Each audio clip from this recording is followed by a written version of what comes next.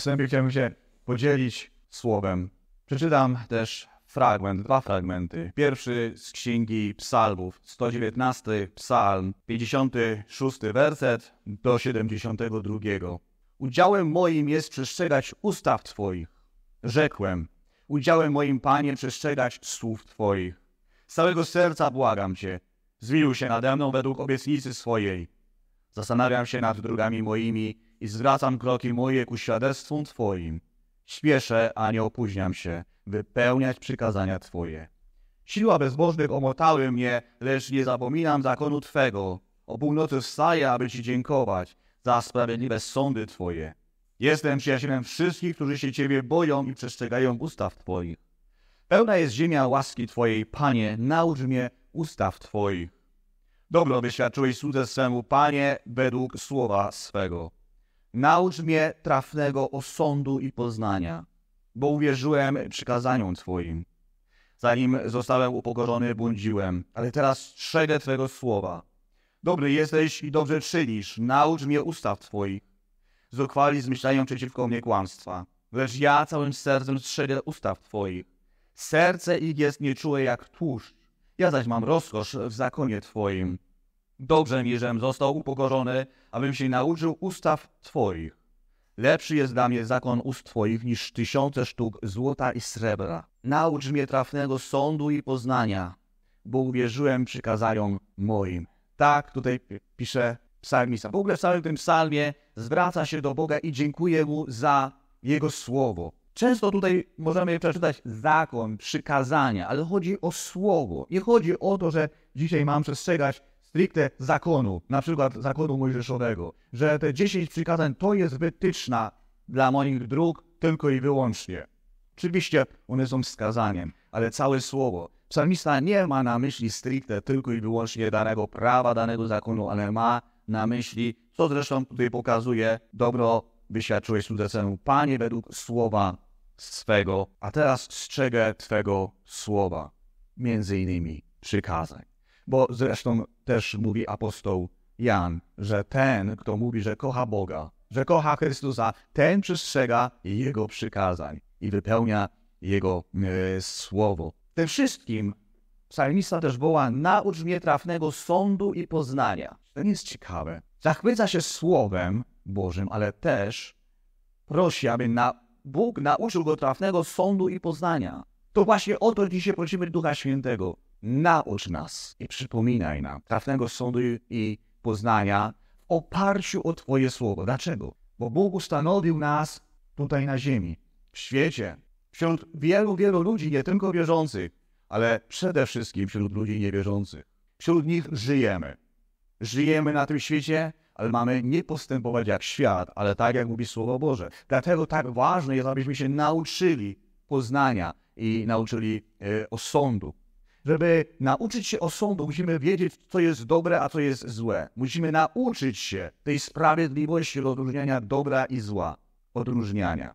To cechuje dobrego sędziego, że on potrafi rozróżnić dobro od zła. Tym samym umie poznać prawdę, zobaczyć prawdę i dostrzec również kłamstwo. Prawdę zachować, zatrzymać, a kłamstwo oczywiście odrzucić. Ten drugi fragment, który chciałem przeczytać, jest w Ewangelii Jana, 18 rozdział, 37 werset i 38. Rzekł mu tedy Piłat, do Pana Jezusa mówi, a więc jesteś królem. Odpowiedział mu Jezus, sam mówi, że jestem królem. Ja się narodziłem i na to przyszedłem na świat, aby dać świadectwo prawdzie. Każdy, kto z prawdy jest, słucha głosu mego. Czyli słucha głosu Jezusa Chrystusa, słucha głosu Bożego, bo Jezus Chrystus jest Bogiem. Rzekł do niego Piłat, co to jest prawda? A to rzekłszy, wyszedł znowu do Żydów i powiedział do nich, ja w nim żadnej winy nie znajduję. Piłat w tym, w tym momencie jest sędzią, on ma rozstrzygnąć pewną sprawę rozmawia z Panem Jezusem, który został oskarżony i on sprawiedliwie ma osądzić. I rozmawia z Panem Jezusem nie do końca wie, co jest prawdą. Ale Pan Jezus mu mówi, że ten jest w prawdzie, ten zna prawdę, kto słucha głosu Bożego. Ten zna prawdę i wtedy może osądzić. I słuchajcie, to jest niesamowite. Piłat mówi, no cóż jest prawdą, ale potem wychodzi i mówi, ja w nim żadnej winy nie znajduję. Piłat rozpoznał prawdę w Jezusie Chrystusie. On mówi, nie ma podstaw do skazania. To, że go potem skazał, to już zupełnie inna historia. Ale tutaj widzi, nie ma podstaw, bo nie znajduje z nim żadnego kłamstwa, żadnego zafałszowania, żadnej nieprawdy. Rozmawiał z prawdą i zobaczył, że nie ma. Na tej podstawie wypowiedział te słowa. Kochani, chciałbym nawiązać teraz to, co przeczytaliśmy, bo słowo jest żywe, skuteczne i ono jest na dzisiaj również. To zostało napisane 2000 lat temu. Psalmista prawdopodobnie 3000 lat temu pisał psalm 119. Ale dzisiaj, po tym czasie, to wciąż jest prawda, to jest skuteczne, to jest żywe, to jest prawdziwe, co tutaj jest. I wciąż my żyjemy na świecie. I Bóg ustanowił nas. I my również powinniśmy, tak jak psalmista, wołać, Panie, naucz nas sądów. I, I co jest prawdą. Tutaj mamy prawdę. Kochani, dzisiaj świat szuka prawdy, ale nie chce przyjąć prawdy. Żyjemy w takim w ogóle czasie, gdzie kwestia dostępu do informacji, wiadomości jest tak wielka jak nigdy wcześniej. Nigdy wcześniej nie zostały ukazywane te wszystkie informacje, tak jak dzisiaj. Ze względu na przykład na media, które mamy. Nie tylko telewizji, nie tylko radio, ale mamy nawet dodatkowo dzisiaj jeszcze internet, który naprawdę jest dostępny i szybciutko przechodzą wszystkie informacje. Możemy wszystkie wiadomości na bieżąco dostawać. Ale tak wiele jest tych informacji, tak przytłaczająca ilość tych informacji i niestety w tych informacjach nie wszystkie są prawdziwe. Ale też dzisiaj, jak nigdy wcześniej, mamy możliwość, mamy narzędzia do tego, aby sprawdzać informacje, aby filtrować to, co zostało powiedziane. I nie tylko mam na myśli dostęp do Słowa Bożego, które jest naprawdę powszechne. Dzisiaj Słowo Boże możemy mieć w zwykłym smartfonie, w zwykłym telefonie. Każdy może mieć aplikację z Biblią i ma przy sobie, a wszyscy dzisiaj chodzą z telefonami. Więc łatwość dostępu do prawdy, tej jedynej prawdy, tej prawdy prawdziwej, każdy ma. Ale też oczywiście żyjemy na tym świecie, są różne sprawy i różne informacje dostajemy i też łatwo je możemy zweryfikować. W tym tygodniu naprawdę pokazało się, jak w ogóle z tego nie korzystamy. Jak dajemy się podejść kłamstwu, nie dość tego, że dajemy się podejść kłamstwu, to jeszcze je rozpowszechniamy. I nie mam tutaj na myśli teraz świata, ale mam na myśli ludzi wierzących albo podających się za ludzi wierzących. Kochani, bodajże dwa tygodnie temu, ten czas szybko leci, to nie wiem, czy już dwa tygodnie, czy trzy tygodnie temu, mówiłem rozważanie na temat otwarcia Igrzysk Olimpijskich, tego, co tam zostało poczynione. I w ogóle te Igrzyska Olimpijskie to są fenomenalne. No, jedyne w swoim rodzaju, aczkolwiek przypuszczam, że następne będą jeszcze lepsze. Pod względem różnego rodzaju prowokacji i różnych takich, wiecie, dziwnych zachowań, nie mających nic wspólnego e, ze sportem. Powiedziałem, że ci, którzy idą za Chrystusem, to powinni bojkotować te, e, te, te, te igrzyska w ogóle, bo to nie ma nic wspólnego ze sportem, to nie ma nic wspólnego z prawdą, a tylko z przekazywaniem kłamstwa. Ale przyznam się wam do czegoś. Oczywiście bojkotuję. Nie oglądam Igrzysk Olimpijskich, ale czytam wiadomości, wiem co się dzieje. Ale przyznam się, wczoraj obejrzałem mecz, znaczy mecz, yy, walkę. Walkę polskiej pięściarki z tajlandzką, tajwańską. No w każdym razie, dlaczego ją obejrzałem? Przez tygodnie była mowa o tym, że w damskim boksie, między innymi w damskim boksie, E, występują mężczyźni, którzy zmieniali płeć na kobiety, czy w jakiś taki sposób są mężczyznami. Oczywiście jest to bardzo bulwersujące, jak to jest, że no niech będzie, że te kobiety już walczą ze sobą, niech będzie, że się już biją, ale tutaj jeszcze jest dopuszczany jakiś e, mężczyzna, który udaje podszywa się pod kobietę. Internet, wiadomości, wszędzie, wszędzie były o tym e, informacje. Ale kochani, czy ktokolwiek zweryfikował te informacje, o co tutaj chodzi? Niedawno też walczyła nasza bodajże judoczka, czy zapaśniczka, już nie pamiętam, która też była oskarżana o to, znaczy oskarżali, że walczyła z mężczyzną, y, który zmienił płeć na, na, na kobietę. Natomiast y, taka poszła nagonka, że wszyscy temu przyklaskiwali albo się temu sprzeciwiali. Ale sama ta zawodniczka, nasza Polka, w pewnym momencie stwierdziła, dajcie spokój. Znam tą zawodniczkę od lat. Występuję z nią na różnych zawodach i wiem, że jest kobietą. No pewnie mają szatnie wspólne. Przebierają się. Prawdopodobnie, prawdopodobnie zweryfikowała to. Ale hejt poszedł. To tylko dlatego, że jej wygląd przypominał bardziej mężczyznę albo nie był taki kobiecy. No my Polacy musimy na to zwrócić uwagę. Polki są najpiękniejszymi kobietami na świecie. No nie dziwota, że pozostałe narody są trochę brzydsze. No cóż mam. Ale kochani, weryfikujmy te informacje. W przypadku pani, która boksowała, stwierdzono, że w zeszłym roku na jakichś igrzyskach, e, mistrzostwach została zdyskwalifikowana.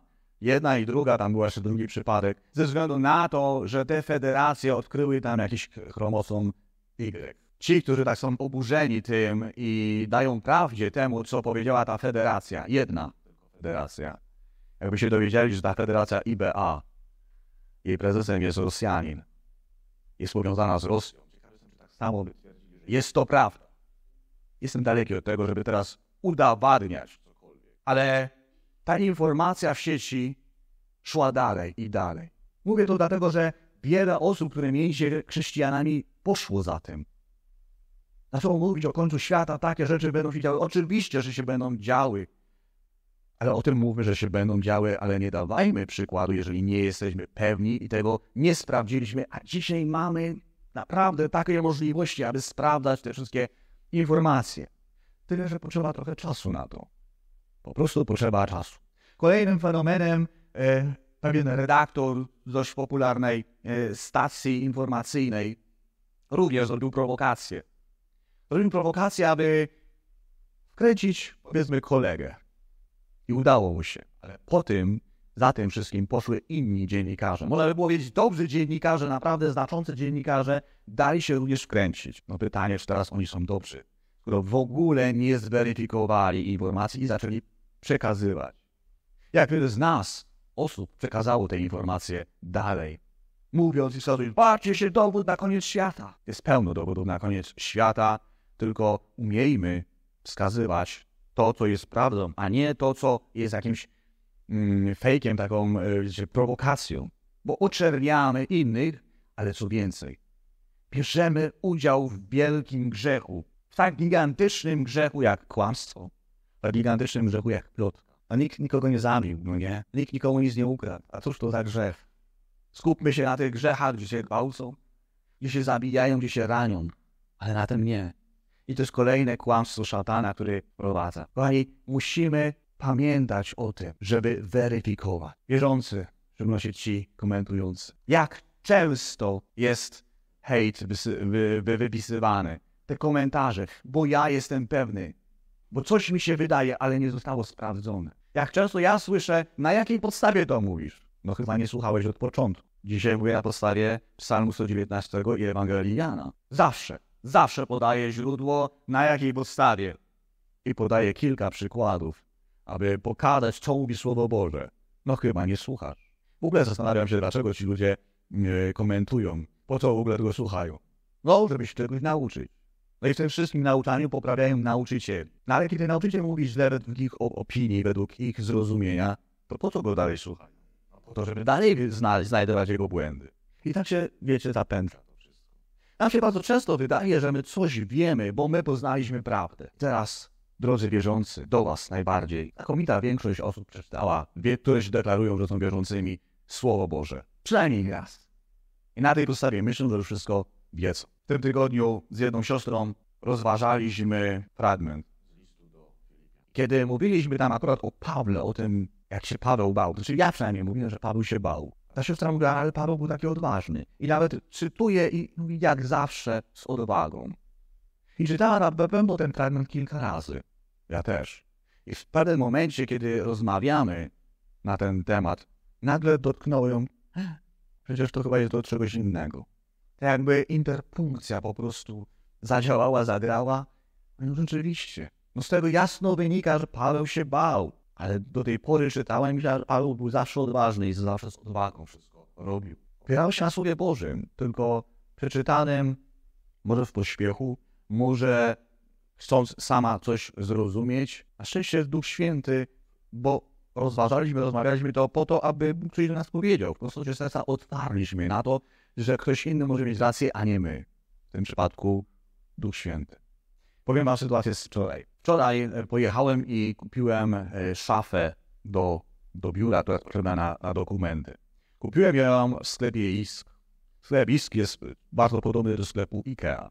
Czyli kupuje się meble, dostaje się to w paczce, trzeba mieć instrukcję i trzeba to wszystko złożyć samemu sobie. Ja jestem mistrzem w składaniu takich rzeczy. Dlaczego? Tak się złożyło, że moja żona bardzo lubi funkcjonalność IKEA i od wielu, wielu lat wszystkie te meble muszą być z tego sklepu. Ona się cieszy z funkcjonalności, ja już trochę mniej. I wiecie, kiedyś, e, kilkanaście lat temu, kiedy wprowadzaliśmy się do, do naszego domu, trzeba było kupić trochę więcej tych mebli. Mieliśmy trochę tych mebli, stołki, krzesła, yy, szafa, łóżko. No i co zrobiłem? Kiedy miałem ten ogrom paczek, byłem przerażony, wziąłem tą instrukcję, popatrzyłem się, okej, okay, dobra, zostawiłem instrukcję i zacząłem składać. No przecież wiem, jak wygląda stołek, wiem, jak wygląda łóżko. Zobaczyłem na tym obrazku, zacząłem składać. W pewnym momencie zostało mi kilka części. Zacząłem zastanawiać, o co chodzi. Dlaczego mi zostały te części, że one są na pewno ważne. Ale jak są, to znaczy, że chyba gdzieś powinny być. Coś pominąłem. Więc musiałem to roz, rozkręcić, wziąć instrukcję i zobaczyć, no rzeczywiście wziąłem i pomyliłem. Dlatego od tamtej chwili, pomimo to, że złożyłem wiele tych mebli, biorę za każdym razem instrukcję i patrzę, karteczka po karteczce. Jest to trochę irytujące, bo się wydaje, jakby dla kretynu to było napisane. No i możliwe, że jest, ja się jednym z nich okazałem, bo nie wiedziałem wszystko, co tam jest. Więc biorę to karteczka po karteczce. Ale z tymi meblami tak się stało, że musieliśmy gdzieś pojechać. Tak, z meblami musieliśmy pojechać, bo przeprowadziliśmy się do Anglii. Więc mieliśmy nowe meble, stwierdziliśmy, że weźmiemy te meble. Ale już nie miałem instrukcji. Ale wcześniej poskładałem już to według instrukcji, więc rozłożyłem te meble i potem znowu złożyłem. Potem tak się stało, że znowu się przeprowadzaliśmy do Anglii, znowu je rozłożyłem i złożyłem. A potem wracaliśmy do Polski, więc znowu je rozłożyłem, a potem złożyłem. I możliwe, że jeszcze się znowu przeprowadzimy, znowu będę musiał to rozłożyć i złożyć. Słuchajcie, robię to bez instrukcji, ale rzeczywiście wcześniej dokładnie sprawdziłem i powolutku patrzę się, czy na pewno nic nie zapomniałem. Ale wczoraj, nauczony tym, wziąłem szafę małą do składania. Takiej szafy jeszcze nie składałem. Instrukcja, karteczka po karteczce, wszystko sprawdzam, tu dziurki, tam dziurki, składam i mam przybijać ten tył, pilśnie. I się patrzę, a uchwyt do ściany tej szafy jest na dole, a powinien być na górze. I myślę, jakim sposobem? Jakim sposobem jest to możliwe? Naprawdę rzetelnie z tą instrukcją patrzyłem, przyglądałem się, złożyłem lata doświadczeń lata doświadczeń składania takich mebli. I jednak coś źle poszło. Musiałem wykręcić na 64 śruby, obrócić i już było gotowe. Ale co mi to, kochani, pokazuje? Siedziałem z instrukcją. Wydawało mi się, że dobrze zrobiłem. Lata doświadczeń, bo ja już wiem, bo ja już wiele tych instrukcji przeczytałem. Wiele razy pismo przeczytałem, a mogę się pomylić, a mogę się wyłożyć na prostej drodze. Zawsze to czytałem, zawsze mi się tak wydawało, zawsze tak nauczali, to musi być prawda. Ale kiedy Pan Jezus przyszedł na ziemię i kiedy głosił, to co ludzie mówili? Nikt jeszcze wcześniej tak nie głosił jak On. Nikt jeszcze tak nie mówił. Ale co mówił Pan Jezus? Czy mówił jakieś nowości? Jak sobie poczytamy Ewangelię Jana, to będziemy doskonale wiedzieli, że on mówi, ja nic nowego nie mówię. Ja mówię to, co mi powiedział Ojciec, to, co jest w waszych pismach. Kiedy tłumaczył drodze do Emaus, to co? Powoływał się na pisma. Jezus zawsze powoływał się na pisma bo napisano, bo napisano, a u proroków, a u Mojżesza nic nie mówił od siebie. Więc jakim sposobem Pan Jezus mówił takie rzeczy jak nikt inny? Jakim sposobem dzisiaj, co ty głosisz, to jest herezja? Nikt tak nigdy nie nauczał. No to mój problem?